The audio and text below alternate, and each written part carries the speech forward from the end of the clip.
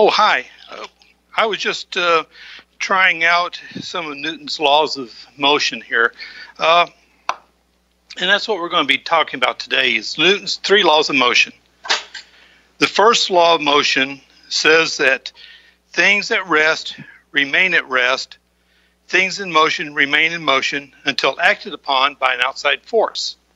So this golf ball here is going to sit there, and it will sit there until some force causes it to move. Once it's moving, it will continue in that direction at that speed until acted upon by some other force. Now, I know you're sitting there going, Mr. Harshfield, Mr. Harshfield. When I start a ball rolling, it's going to roll, but it's going to stop. It's going to curve as you see this golf ball curving. So, what's going on here? Well, this counter is not perfectly straight, perfectly level. If it was, I could start the ball here, roll it across the table, and it would continue rolling until acted upon by something else. That something else would be gravity. Now, why does it slow down? Well, there's another force that causes it to slow down. That's the force of friction. Friction is what resists motion, movement. And we call this ability to keep doing what it's doing inertia. Let's have a little demonstration here. I'm not sure if this is going to work, but that's part of science, right? So we've got a plastic bottle here. I'm going to put a business card on top of it like so. And I've got a copper jacket uh, uh, bullet I'm going to bounce it right there. Now then, what's going to happen if I flick the card? Well, the bullet has inertia. It's going to keep doing what it's doing until acted upon by another force. With the card there, we've involving Newton's third law, and we'll talk about that in a minute. But that bullet is being held up by the card. If the card's no longer there, guess what happens? Gravity. Gravity pulls it. And this will happen every time. And we can even put more weight on there so we have more inertia. Another little something here. I've got a beaker and I just put some paper towels in there to protect the glass from this. Set it there. Put this tube right there. And I'm going to put a golf ball right there. Make sure it's all lined up properly.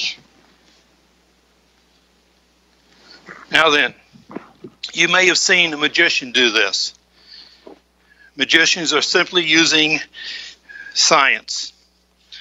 Got a broom here. I'm going to take and put the broom right here and step on the bristles so it makes kind of like a spring. And I'm going to adjust that just a little bit more. All right.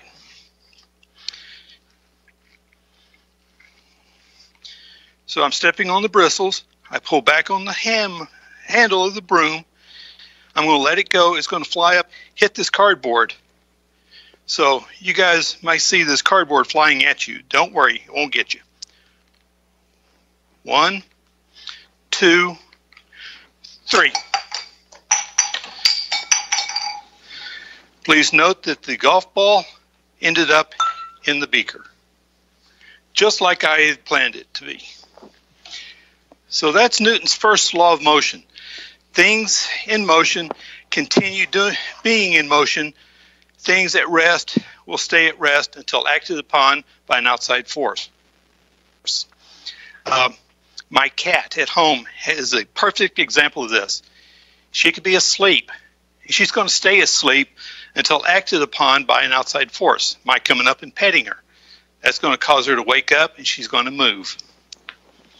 All right, this little car here has a spring inside, and when I back it up like this, it winds up that spring and causes it to move.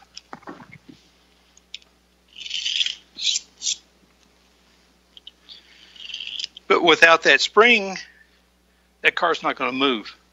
It's not going to do anything. Newton's first law of motion.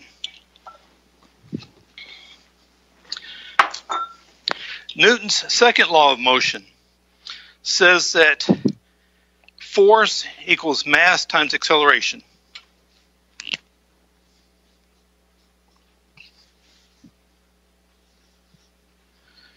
So the higher the mass,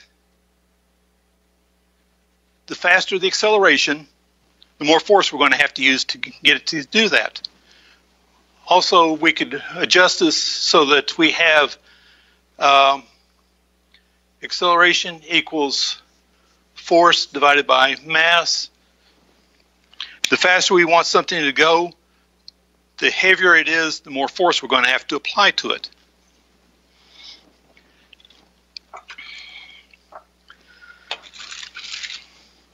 I have three different balls here. Golf ball, a handball, and a baseball. Which one of those three has the most mass? Not weight, mass. The difference between mass and weight is the effect of gravity. Mass is how much matter is contained in that object. Weight is the force of gravity pulling down on that object. So if I wanted to accelerate this golf ball a little bit of force, and we'll start it rolling. The more force I put, the faster it's going to roll. If I take the handball, now the handball has more mass, so I'm going to have to apply more force to get it to move. The more force, the faster it's going to move. The baseball has even more mass. Come back here. Stay. So the baseball is going to take more force to get it to start to move. I told you stay. The faster I want that baseball to move, the more force I have to put.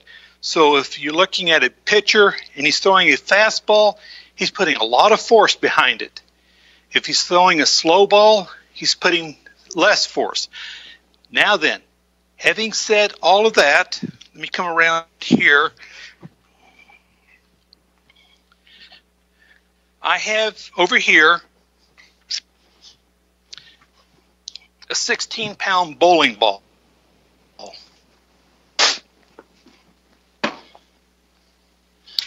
Can you imagine the inertia that this has? How much force am I going to have to apply to this bowling ball to get it to start to move?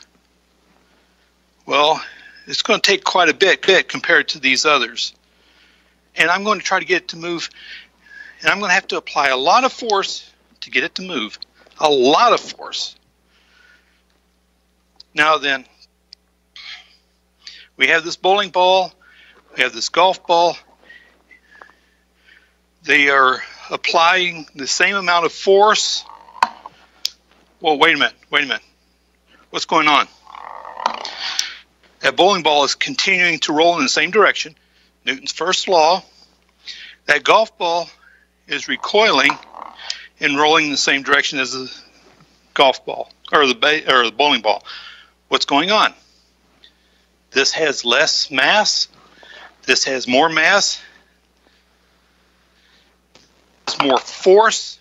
This has less force. So when they collide, that force is transferred to the golf ball.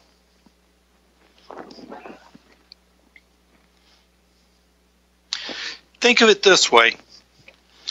You want to go down the road in your car, and we'll say, just for sake of argument, you're in a little smart car. You want to get out on the highway, and you want to get up to 60 miles an hour. You push down the accelerator, the engine revs up, the car was going to move faster. Now, coming down the highway is a semi. That semi wants to get from a stop at stoplight up to 60 miles an hour. It's going to take more force to move that semi and accelerate it to that same 60 miles an hour. So that's why if you get behind a semi and he's at a stop or he's speeding up, it, it may take him to get up to speed. So don't push him.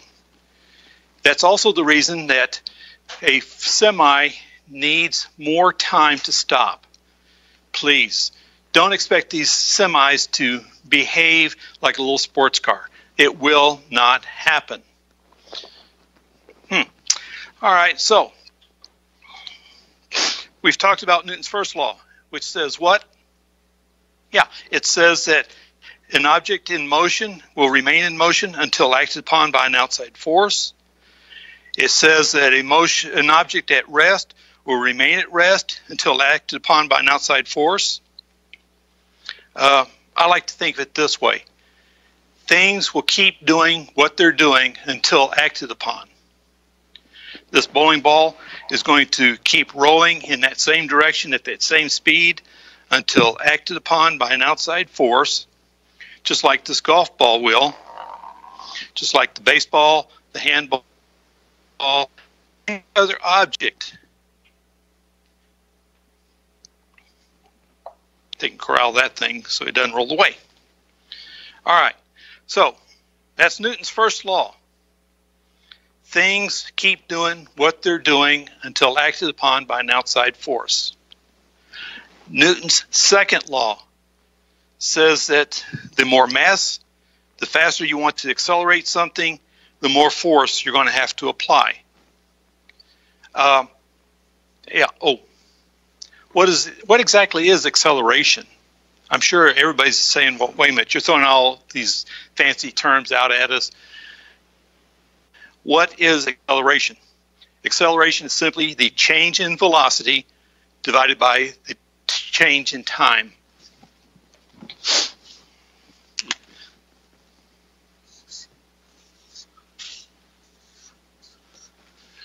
delta v, or change in velocity, divided by a change in time.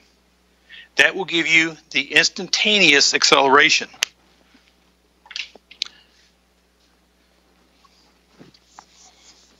We can also look at Newton's second law, force equals mass times acceleration. We can adjust this or this equation so we can calculate the acceleration, we can find the mass, or we can find the force if we know the other two. So, having said all that, what and let me say this Newton was a brilliant scientist.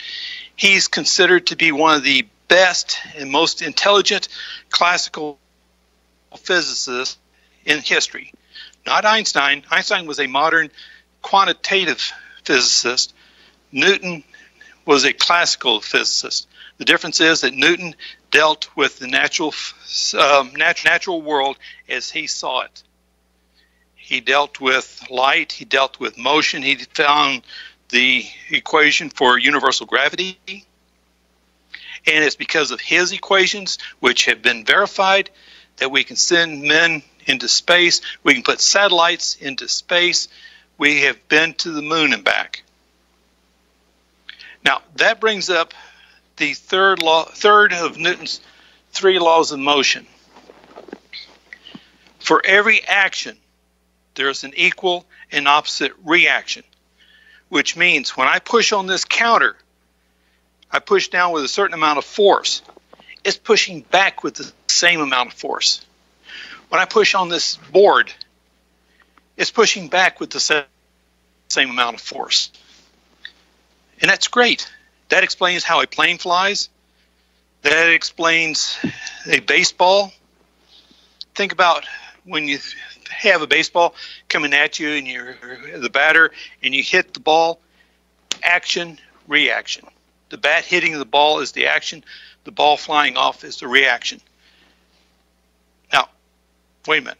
You said without this third law, we would not have been able to put men in space. Well, how does a rocket work? What do you think? Any ideas? Hmm. Well, we know that a rocket is going to expel gases flames, force downward.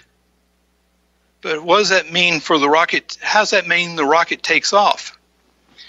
That is the reaction, the force being pushed down. The reaction is the rocket being pushed up. Now, here's the thing as the rocket uses up its fuel, its mass is going to decrease. So the acceleration will increase, keeping the force the same. The force is the same when it takes off as it is when it reaches orbit by this equation right here. Uh, another thing that Newton did, and I know a lot of people that are upset about this, is he developed the idea of calculus. Oh, yeah, calculus. But getting back to the rocket, we said that the rocket pushes out exhaust. The motion is going to push the rocket up, and we can show that by a simple balloon.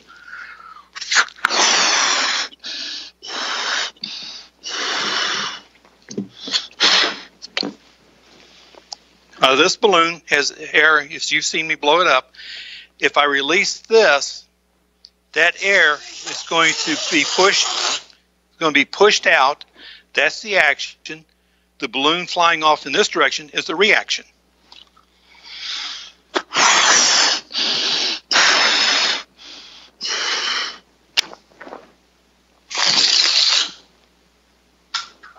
Fun and games, science. So, uh, um, that's Newton's three laws of motion. Things continue doing what they're doing until acted upon by a force. The amount of force is going to equal the mass times the acceleration that we want to achieve. And is for every action there is an equal and opposite reaction. The school principal just walked in. I'm going to get him involved here. Mr. Osborne, um, as a principal, do you ever have any reactions to anything that you might do? Uh, yeah, most often. That's the psychological action reaction pair. Yeah. Uh, you missed this. Let's see if we can do this again. Would you hand me that cardboard right there, please, and the plastic tube?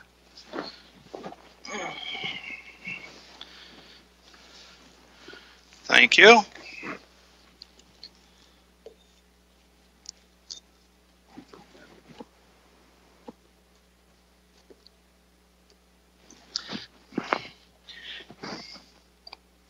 I shouldn't be doing doing this because this reveals the magician's secrets, and I'm sworn to secrecy on that.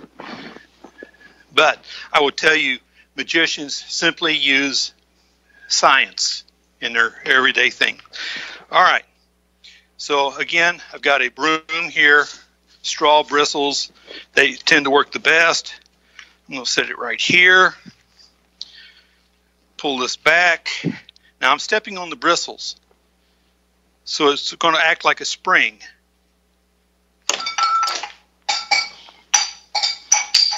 There it is. Dropped it into the beaker, and it will work every single time because of inertia. Newton's first law. Things keep doing what they're doing until acted upon by an outside force. What about friction? Friction. what, explain something about friction slow down. All right, what is friction? Friction is a force between objects. There's friction between this ball and the tabletop. That friction is where the surfaces meet and it's going to resist movement.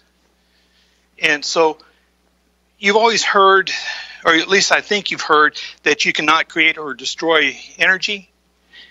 There's some energy in moving this ball. That's part of the force. That friction is taking some of that energy and converting it into heat. Put your hands together and rub them real fast. And what do you experience? What does it feel like? It gets hot. That's the friction being rubbed in between your hands. So that's friction. It's the force that resists movement. That's the reason a ball will slow down. That's the reason a ball will turn and curve because of friction acting on it in an unequal manner. Um, what else? Do you have any questions? Anything else? Uh, I will tell you this, this, please, please, please, please, if you want to do this at home, um, have your parents get a broom for you. Don't use your mom's good broom. They will, she tends to get a little testy about it because some of the bristles will be broken in this. And you may want to use uh, the golf ball. If you do, put some paper towels in the glass that you're dropping it into so it doesn't break the glass. Um, I've seen people do this with a raw egg. And what they will do is they'll put water in here, use that to collect the egg, protect the glass from the egg. Uh, so, Newton's three laws, once again, things at rest or things will continue doing what they're doing until acted upon by a force. Force equals mass times acceleration. The more mass, the same amount of acceleration will create more force. And we have, for every action, there's an equal and opposite reaction. So go out and try this and remember that action reaction is part of how a plane flies. You might want to try that. Go out and hit, if you go out in the backyard and hit a baseball, remember the bat hitting the ball is the action, the ball flying away is the reaction. Is there is there an example of an everyday occurrence that you could use the formula, like to figure the force of something? If you had like the mass of a car, acceleration, sure. the car, is there, you show the people at home maybe how just an example of that? Well, as an example, force equals mass times acceleration. All right, so we have the mass of a smart car. And just for the sake of arguments, I'm going to say a 2,000 pounds. We want to accelerate it to, I don't know, maybe 35 miles an hour.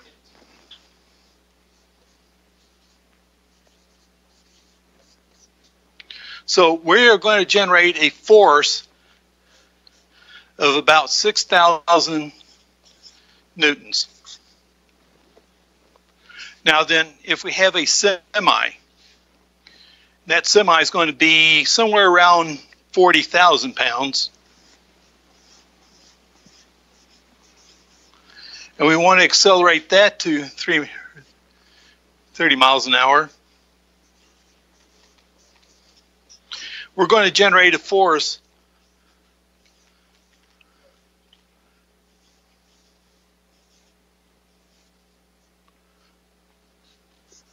of that. Can you imagine how much force that would cause? How much damage that would cause if that semi ran into your little smart car? So that's the reason why present, present accidents are way worse than regular. Yes, and my dad was a semi driver, so I learned a lot about this. And once again, don't expect a semi unloaded to be able to react the same way as a little sports car. So is that, is that the reason why uh, trucks have a, a harder time stopping? Yes, remember, Restate that question, just so they know. all right, that is the reason trucks have a harder time stopping than a car. Remember, the more mass you have, the more force it's going to take. So in this case, we're trying to stop. The acceleration is going to be negative, so the force is going to be negative. But we've got this semi, we've got this little smart car. They run together. Guess what? That little smart car is going to be demolished.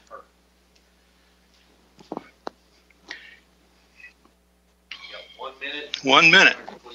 All right. So, just as a second or third or fifth review, Newton's three laws of motion.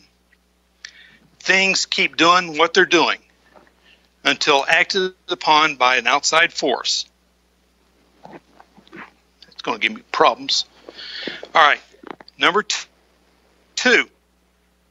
The force needed to accelerate an object to a certain velocity is dependent upon the mass of that object, eh, excuse me, and the acceleration that we want to achieve. Third, for every action, there's an equal and opposite reaction. If you push on something, that object is going to push back with the same amount of force. All right. So, thank you for being with me, and I hope to see you again next time.